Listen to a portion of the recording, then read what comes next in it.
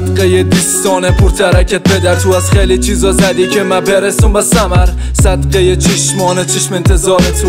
مادرم من فدای خاک پای تو. گریانم نکدی من گریانت کدوم خورد بودم یاد دادی راه ما بروم تقویم کارتم تا تعطیلی نداره کالای جانتم یک تعویزی نداره پدر به گمانم تو مردی خستگی نداری. برم قهرمانی تو کالای ارتشی نداری. ابریم باری غم دارم من. مادرم ببخش بر رفتار من. که بد بوده کدت سخت بوده برت. جوابم صدایم مرفت بالگاهی سرت. شاد مشه دلت وقتی دیدی کامیابم.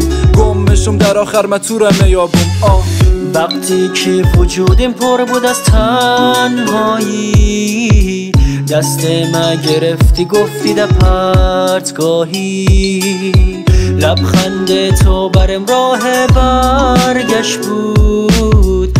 وقتی که تو هستی جایی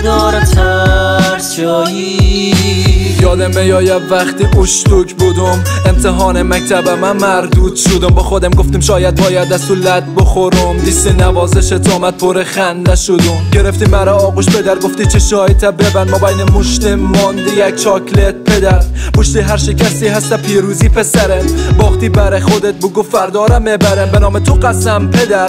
مردتر از مردی سخت دادی غم دیدی مرا کلان کردی. شاو شده خانه نرسیدم. برم زنگ زدی گفتی بچم خواهت دیدم مادرم آخرم اولم تویی در رسیدم پر تشویش شده چرت آینده را زدی که خطا نشه. راهم قسم شیر پاک تو که من خطا نره. راه ما وقتی که وجودیم پر بود از تنهایی دست ما گرفتی گفتی در پرتگاهی لبخند تو برم راه برگشت بود.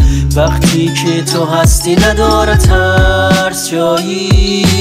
نوای لالاییتم که بهترین موزیک بوی چادر نمازت برم صد تا منامته حتی بهشتم کم بوده بر زر پایت آخر تو تصویر خدایی یا خدا تصویرت. بوی عشق مده دانه دانه های تسبیحت.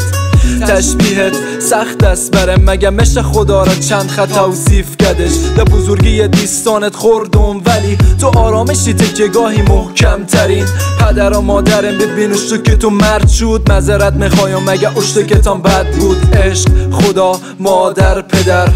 داستان ما هم رسید آخر. آه سی جی صدرا